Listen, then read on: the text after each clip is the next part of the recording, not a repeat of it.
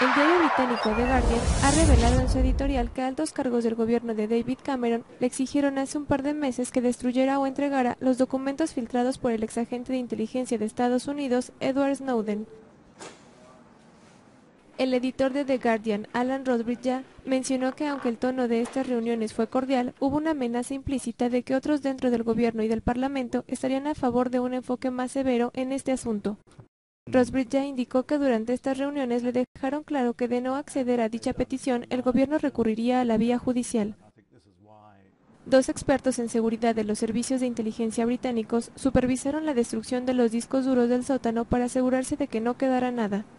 El diario británico ha publicado una serie de artículos basándose en el material de Snowden sobre el espionaje estadounidense y también sobre el espionaje de los servicios de inteligencia del Reino Unido.